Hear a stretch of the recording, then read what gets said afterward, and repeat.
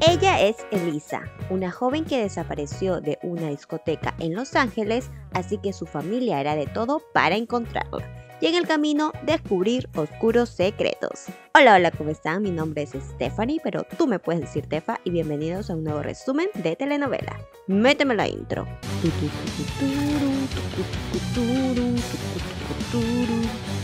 La historia comienza en el cumpleaños de Mariano Altamira, que está celebrando con su familia su esposa Dana, Elisa, su hija, su hermana Cecilia con el esposo Bruno y a los demás vamos a ir conociéndolos en el camino. En la noche, Elisa y sus primos se van a Malibú a una discoteca. Mariano los deja y será la última vez que verá a su hija. Dana y Cecilia van a recoger a los chicos a la fiesta. Pero todo es un desmadre. Santiago peleándose, Eduardo súper borracho, Flor perdida en el espacio.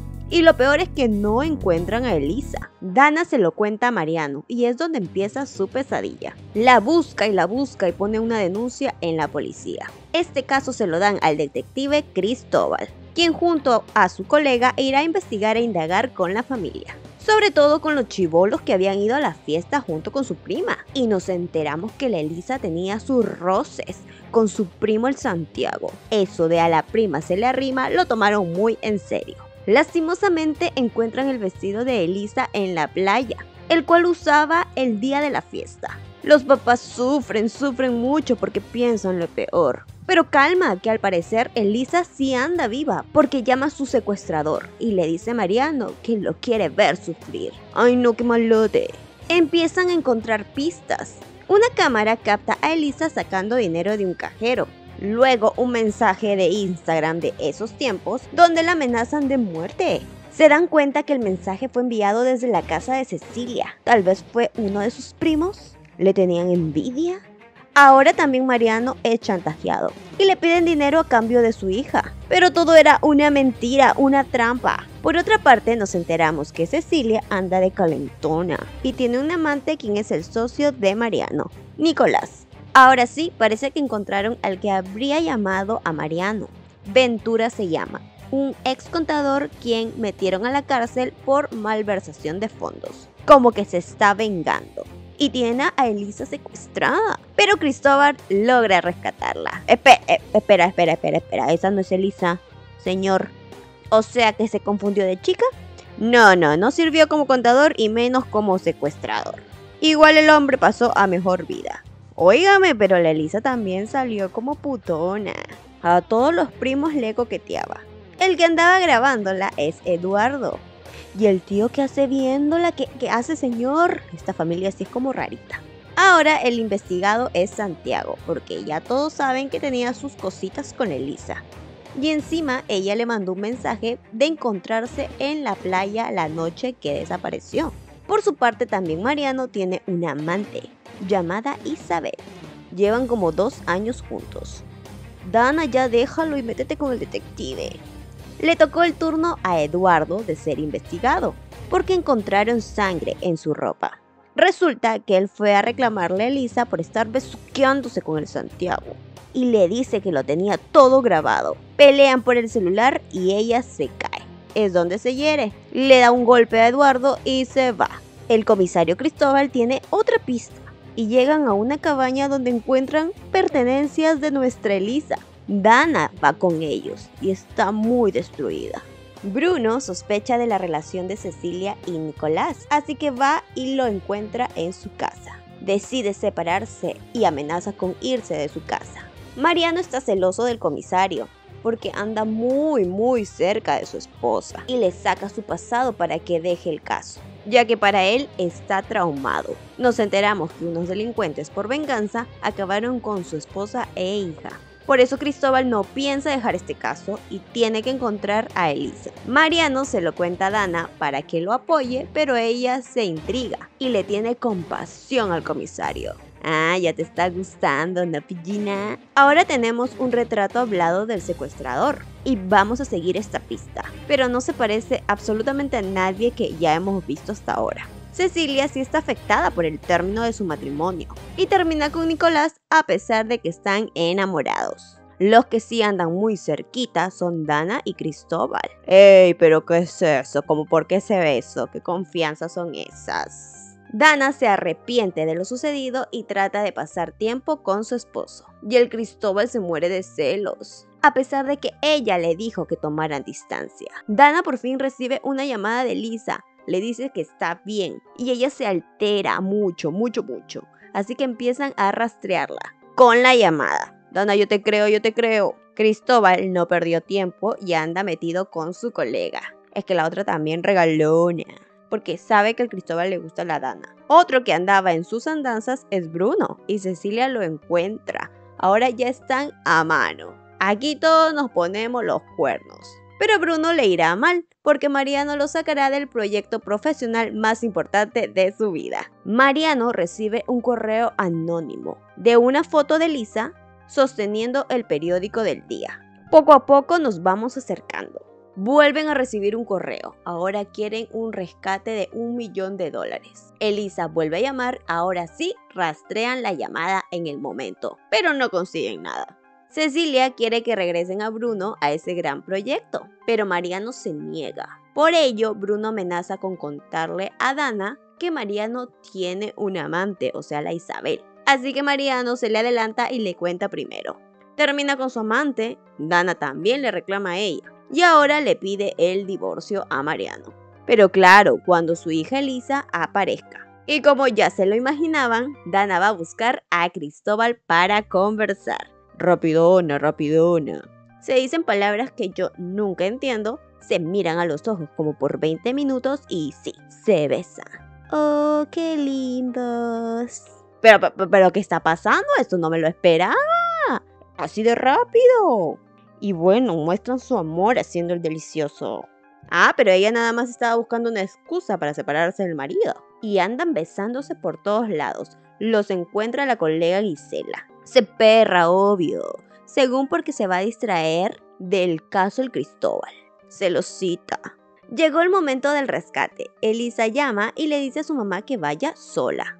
Pero la policía también está al pendiente. Dana sigue las instrucciones y llega a una cabaña abandonada. Lamentablemente no se encuentra ahí. Y ya habían entregado el dinero del rescate. Vemos que esa persona llega a otra cabaña y es un hombre. En la misma cabaña está Elisa junto con ese hombre misterioso. Calma, calma todos, por lo menos está viva.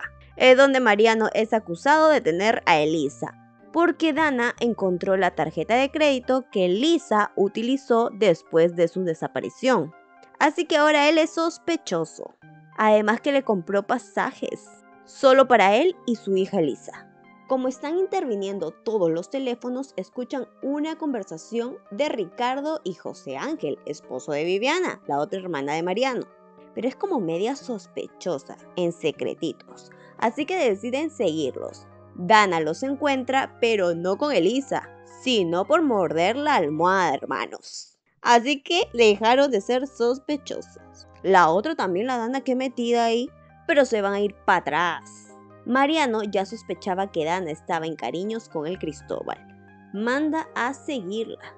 Así que llega a la casa del comisario y sácate, que los encuentra. En paños menores. ¿Ya viste lo que se siente Dana? Ajá. Se altera y se empiezan a pelear.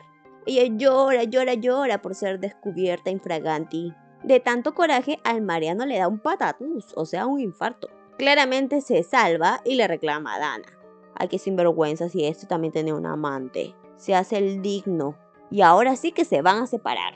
Otra sinvergüenza que le reclama a Dana es Cecilia. Y la Dana le mete tremendo cachetado para que se ocupe de sus asuntos. La jefa del comisario lo saca del caso porque ya se involucró demasiado. Entonces por su cuenta, junto con su colega, investigan a Mariano y le encuentran unas fotos de Lisa privada de su libertad, completamente dormida. Su propio padre secuestró a su hija. ¿Cómo está esta sociedad de ahora cochinota? Así que no queda de otra que detenerlo, aunque él se niega de toda culpa. Ahora toda la familia anda preocupada, hasta le arruinan la boda a Cecilia, que andaba casándose con el Bruno por segunda vez. Toda la prensa también está presente porque estaban con el pendiente de la Elisa. La única que sí está confiada que fue él es Dana y por supuesto el comisario. Igual lo dejan libre, pero está vigilado 24/7. Vemos que Lisa sigue viva, llorando, encerrada, pero viva. Y también está con ese hombre malo. ¿Qué? ¿Qué? Me morí, reviví, me morí, reviví. ¿El hombre que la tenía secuestrada es el tío Bruno? ¿Qué? Elisa, ¿qué haces ahí con el tío Bruno? Nos enteramos que tiene una relación con el tío Bruno hace mucho. Elisa se escapaba para verse con él y ahora anda llorando por lo que le está pasando a su papá. Porque al parecer ella está ahí en esa cabaña por su propio gusto. Ella planeó su secuestro. ¿Cómo por qué, Elisa? ¿Cómo por qué? Elisa se fue de la fiesta, se cambió de ropa, se cortó y se pintó el cabello y llamó a Bruno para encontrarse en la cabaña. Pero ahora Bruno ya cambió de actitud con ella, ya no es el amoroso. Por eso es que Elisa se quiere ir y Bruno ya no la deja. Bruno viene con unas actitudes muy raras en los últimos tiempos y Cecilia se ha dado cuenta, aunque ella piensa que la engaña con otra. Por eso cuando él se escapa temprano, ella lo empieza a seguir. Pero Bruno como es zorro viejo se da cuenta de la que se salvó. Elisa ya está harta, así que quiere escapar.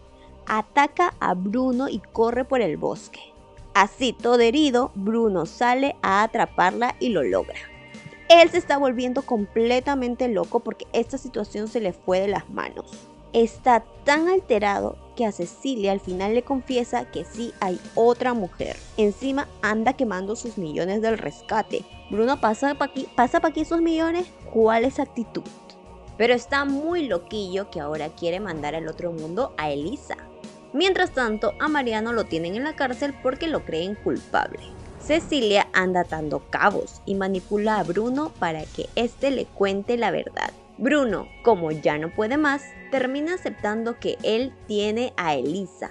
Se prendió esto, hermanos. Cecilia no lo puede creer y Bruno le dice que ella lo involucró en su plan de escaparse. Y luego lo amenazó y luego lo amenazó que iba a contar que tenían una relación. Como a Cecilia le gusta aparentar la familia feliz, en esta sociedad no va a dejar que esto salga a la luz. Así que van a la cabaña y no encuentran a nadie, ni las cosas de Lisa, ni la comida, nada. Entonces todo esto Bruno se lo imaginó o qué? ¿Qué está pasando que todo lo vimos o no? Cristóbal también llega a la cabaña, pero ya no hay nadie ahí. Llegó al punto correcto, pero muy tarde. Aunque Cristóbal no se queda ahí, su instinto lo hace ir al bosque. Y no me van a creer. Sí, ahí está Elisa, pero toda golpeada y herida de bala. La llevan al hospital y le tienen que sacar la bala. Dana está contenta que recuperó a su niña, mientras Cecilia y Bruno andan histéricos, porque Elisa puede despertar y decir todo lo de Bruno. La pregunta es quién le hizo daño si no fue Bruno. En la investigación encontraron una carta de Lisa que absuelve a Mariano del secuestro, así que él ya puede salir libre y va directo a ver a su hija al hospital. Bruno está desesperado y les graba una confesión a sus hijos de todo lo que vivió con Elisa. Recalca también que no le disparó. Ya al parecer se va a fugar para Grecia. Pero Cecilia, que es más hábil, lo encuentra y le pelea para que no se vaya. Cristóbal ya sospecha de Bruno y hace de todo para que Bruno hable. Pero él nada de nada. Así que lo deja tirado por ahí y Cecilia va a su rescate. Cristóbal buscando y buscando encuentra pruebas que lo inculpan. El destornillador con el que Lisa atacó a Bruno. Están las huellas de Lisa y la sangre de él. Pero lastimosamente Lisa no resiste y nos deja sin decir absolutamente una palabra. Le dan la noticia a Dana y ella está destrozada. También toda su familia. Elisa se nos fue. A Bruno también le afecta demasiado porque algo la quería. Ya en el funeral, Cristóbal llega a detener a Bruno. Todos se quedan en shock y Mariano está que arde. Bruno le cuenta a Cristóbal la relación que tenía con Elisa y cómo ella escapó voluntariamente a la cabaña porque quería estar con él y sigue negando que él le disparó. El chismosote de Cristóbal se lo cuenta a Mariano y a Dana y Mariano se emperra más. Y en la audiencia le quiere partir su madre. Ya en la cárcel, Dana lo visita, pero no logra sacarle nada, porque él sigue diciendo que no fue. Además que no la pasa nada bien porque es golpeado y también abusado. Sí, ya que se metió con una menor de edad y así pagan en la cárcel. Ouch. Además, Mariano fue quien los mandó les mandó a hacer daño. Es que está molestísimo, está molestísimo. La hija menor de Dana está dibujando las situaciones por las que pasó Elisa antes de fallecer. Esa niña hizo como un storyboard, fotograma por fotograma. Entonces la Dana la lleva al bosque para ver si recuerda algo, pero no logró nada.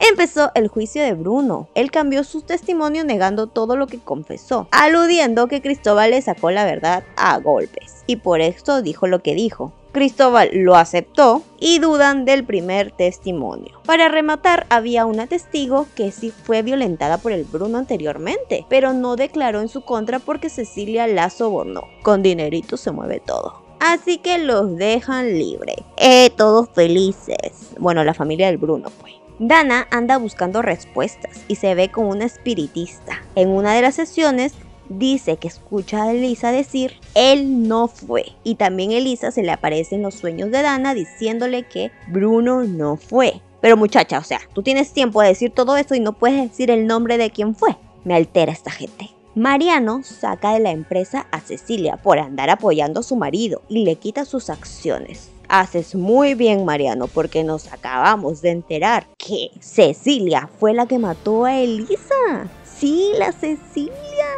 Bruno es quien la enfrenta y le obliga a aceptarlo. Según Bruno, ella tomó el arma de su caja fuerte y fue al refugio porque anteriormente ella ya lo había seguido. Vio a Elisa, la persiguió por el bosque y le disparó. Ella lo niega completamente y culpa a Bruno, pero la teoría de Bruno tiene mucho sentido. Igual Cecilia le muestra el arma, las llaves de la cabaña, la cámara fotográfica, el video que grabó Bruno, aunque no lo acepta literalmente, pero tenía todo. O sea que no dijo, no, sí, yo fui, no, no lo dijo. Viviana ya sabe que su esposo es homosexual. Queda en shock, pero aún no sabe que anda con su amigo. Espérate, Viviana, espérate. Cecilia anda por la ciudad botando todos los objetos comprometedores las llaves, la pistola, aunque no cuenta que Isabel la estaba siguiendo y recoge las llaves de la cabaña. Por casualidades de la vida, la policía también encuentra el arma, ya que Cecilia la tiró al río. Y como Isabel la vio hacerlo, Cecilia va a la busca y como que la mató. Como así? Así de una. No, ya se le está haciendo costumbre, ¿no? Pero también Isabel, tú por chismosita. ¿Quién te manda, mi amor, por chismosita? Nicolás la encuentra y sufre, sufre mucho porque estaba ya enamorándose de ella. Por lo menos encuentran las llaves y comprueban que sí son de la cabaña. La Viviana por fin encuentra a su marido con su amigo el Ricardo juntos y se da cuenta de todo, que son pareja. Pero fue un abracito nomás como los encontró, tampoco para tanto exageradita, ¿no? Imagínate que los hubiera encontrado como la Dana. Dana anda sospechando de Cecilia porque en uno de sus sueños ella ve a Cecilia disparándole a su hija. Le cuenta a Mariano y este obviamente defiende a su hermana, a capa y espada. Yo quiero ver papi cuando te enteres de la verdad. La policía habla con Bruno para que entregue a Cecilia, y ya que ellos están seguros que fue ella. Aunque Bruno quiere entregarse y ya había hablado de esto con Cecilia según se iban a entregar juntos, así que disfrutan la última noche en libertad. Con vinito, con cariñitos, haciendo el delicioso. Pero te vas a ir para atrás, porque Cecilia para la cárcel que nomás no va. Le dice a Bruno que sabe que fue a hablar con la policía y por eso lo desmaya, con unas sustancias ahí en el vino. Arma toda una escena para que todo quede como que el Bruno se automurició y así es como él pasa a mejor vida. Ay, no, muy sangrienta me salió la Cecilia ya. Lo bueno es que Elisa va a recoger a Bruno para irse al más allá. Elisa ya cumplió 21 en el más allá o todavía. Ay, qué cochinote.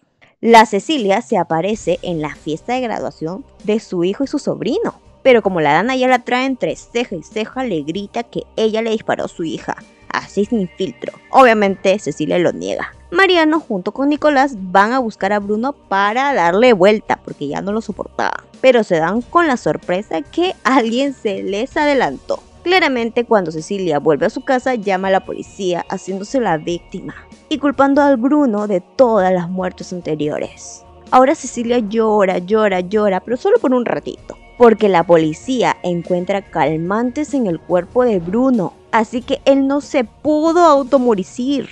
Y ponen una orden de apresión en contra de la Cecilia. Ella se escapa llevándose a su hija la flor, y Dana las persigue, mientras que Cristóbal le confiesa a Mariano que ella, Cecilia, mató a su hija. En shock se queda el Mariano. En shock. Todos te dijimos, te dijimos. La encuentran y Mariano claramente la enfrenta para que pueda soltar a Flor, porque también quería darle vuelta a la muchacha. Con mucha pena Mariano le reclama a su hermana todo lo que hizo y al final Cecilia lo acepta. Y todo esto pasó porque la Elisa se metió con su marido y la Cecilia no quería que nadie se entere. Mariano forcejea con ella y suena un disparo. No les pasó nada a ninguno, pero empieza la persecución a la Cecilia. Llegan hasta el bosque al igual cuando ella persiguió a la Elisa. Pero ahí la detiene Cristóbal y termina en la cárcel recordando sus crímenes. Es donde vemos que ella sabía todo lo de Elisa y Bruno desde un inicio solo estaba esperando el momento para acabar con ella. Ahora está en el manicomio porque intentó acabar con su vida. Y así termina nuestra doña Hilda. No, quiero volar en avión particular. Mariano, con el dolor de su corazón, va a verla y la perdona porque la ama. Pero tampoco creo que vuelva por ella. Dana estaba entre quedarse con Cristóbal o la felicidad con su familia. Y no me van a creer, pero decide quedarse con sus hijas y no separarse de Mariano. Mientras Cristóbal siempre está alerta en su trabajo, recordando los momentos que pasó con Dana, desde los más feos hasta los mejores. Pero lastimosamente esta historia no pudo ser. En la casa Altamira todo volvió a la normalidad, bueno, en lo que se puede, con la familia reunida, terminando este dramón con una foto de todos los que llegaron hasta aquí. Digan Elisa y fin. ¡Wow! Fue bastante interesante esta novela. Igual yo no quería que acaben con Elisa, quería que diga algo, suelte. Pero en una cosa tenía razón Cecilia, o sea, la muchachita era como rapidonga, aunque tampoco así para llegar al extremo de acabar con ella. Y el Bruno, que sabía que era menor de edad, también se pasó. Está bien, está bien que lo hayan mandado para la cárcel. No sé si me hubiera gustado que Cristóbal se quede con Dana porque me imagino que Dana va a tener todo un proceso hasta sanar todo lo que pasó. Y es mejor estar con su familia. ¿Ustedes qué piensan? Hasta aquí el video de hoy. Si te gusta el video, de like, suscríbete. Si no te suscribes, vas a ser parte del club de los sapos. No seas sapo, no veas solo el video y suscríbete. Ayúdame a llegar a los 20 mil. Y estamos así a poquito. Tengo Instagram, si me quieren ir a ver, también tengo TikTok. Les voy a mandar un beso enorme. 茶色